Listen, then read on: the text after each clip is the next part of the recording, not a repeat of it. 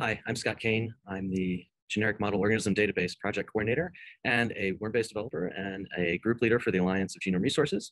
And I'm going to talk today about using Docker to make uh, JBrowse 1 deployment easier. But before I get started, uh, I just want to uh, acknowledge uh, the fact that there are a lot of people who work on these projects, uh, including people in Gmod, JBrowse, Wormbase, AGR, and those people who helped are helped a lot are uh, marked with asterisks here but uh, it's it's a big community. Why uh, would I give a talk about JBrowse 1 when JBrowse 2 is very cool? Uh, and there's another talk about it today. Um, but the reason why is the installed base for JBrowse 1 is very large. And I've created some tools that I think will be generally useful, so we thought we'd share. And uh, additionally, the relatively simple concepts presented here are likely to be extended to JBrowse 2 in the near future.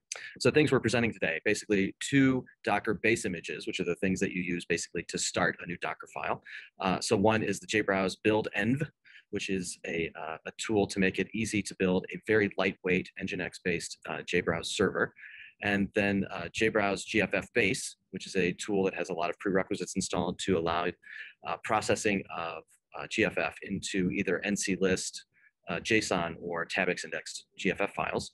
Um, and there are lots of implementation examples I'll mention at the end.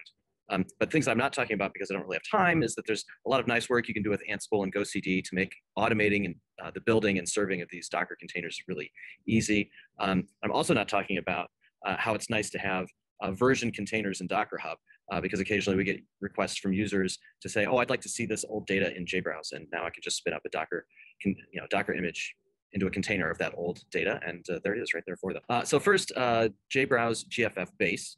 Uh, so it provides a lot of things, AWS command line tools, genome tools, uh, BGZip and Tabix from uh, Jim Kent's software tools, BioPerl, SAM tools, and the JBrowse command line tools. So it's a lot of stuff, but on its own, what does it do? Mm, nothing. so what is it good for? So here's a simple example. So uh, ZFIN, the zebrafish model organism database, needs to develop a new genome browser to take place of their aging gbrowse instance. Um, and because ZFIN and Wormbase are both part of uh, AGR, I offered to help. Um, so basically, I created a simple Docker file that uses that uh, JBrowse GFF base. And uh, it basically, uh, I also included in a tool that um, will upload that NC list data to S3, which makes it really easy. You'll see where that's included in a minute. And then it runs a simple shell script that just fetches the data from ZFIN, processes it into an NC list data, and then uploads it to GFF. And here's the link for that Docker file. The Docker file itself is super simple. Uh, basically, like I said, it just pulls in uh, some configuration data and a, a, tool from these two repos, moves some files around to make life easier, and then runs this bash script. So all of the magic is in this bash script.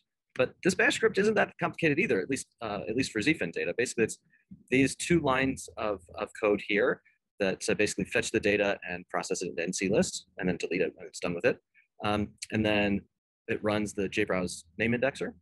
And then it uploads all of that data to an S3 bucket. And so all these variables in this, this uh, shell variables are passed in as environment variables when it's launched. So now we've got data. Now we need to get the server. So basically, now we start with the uh, JBrowse dev env Docker file. And so it pulls in the JBrowse source, it pulls in some configuration, you know, JBrowse configuration files, it pulls in any plugins, uh, and then it will build JBrowse. So it, JBrowse doesn't get built in the base image, it gets built in the, the container we're creating, and that's so that we can pull in any plugins that we want, uh, because that has to happen at build time for JBrowse 1. And uh, then we just transfer the necessary files after we're done, you know, generating everything we need uh, during the build. We transfer it into a smaller container that ends up being 200 or less uh, megabytes that just runs Nginx and has the files just needed for running JBrowse. And, uh, and that configuration file is set to use all the data that got transferred to S3 in the last slide.